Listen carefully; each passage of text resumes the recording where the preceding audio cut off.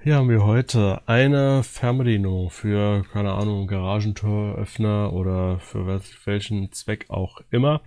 Auf jeden Fall, die funktioniert nicht mehr. Die Ursache ist hier relativ klar ersichtlich und zwar haben wir hier diesen Quarz, ähm, der die Frequenz produziert, mit dem der Sender hier sozusagen sendet. Der ist abgebrochen, da fehlt ein Beinchen. Von daher werden wir das jetzt mal wieder anlöten, beziehungsweise werden ein neues anlöten. Und dann schauen wir mal, ob wir das Teil wieder zum Senden bekommen.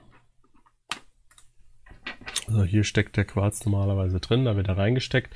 Ich werde jetzt, denke ich mal, da einfach hingehen und äh, werde diese Halterung hier entfernen und den fest auf der Platine verlöten, weil ähm, das ist ja im Prinzip nur für den Anwendungszweck, dass man hier irgendwie einen anderen Quarz für eine andere Frequenz einsetzen möchte. Keine Ahnung, vielleicht 433 oder sowas, also Megahertz. Ähm, das ist jetzt hier einer, der auf äh, 26, 905 sendet. Und den müssen wir jetzt hier einmal, dem müssen wir hier gerade sein zweites Beinchen wiedergeben. Dazu werde ich mir jetzt hier einfach so einen, keine Ahnung, Widerstand, den ich hier rumfliegen habe. Ich brauche ja im Prinzip nur den Teil hier, den knipse ich mir am Ende ab. Den werde ich mir jetzt hier gerade einmal fix verzinnen, anlöten, einstecken, abknipsen und dann schauen wir mal, ob es äh, funktioniert. Also jetzt wirklich keine hochtechnische Angelegenheit.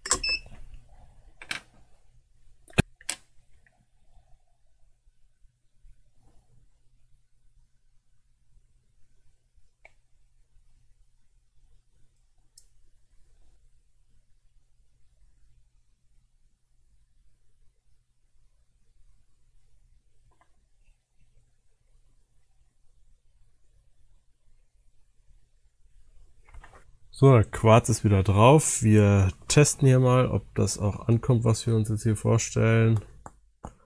Jawohl, jawohl, jawohl, jawohl. Also wir haben die Frequenz passt, die ausgegeben wird. Und damit sollte die Sache eigentlich erledigt sein.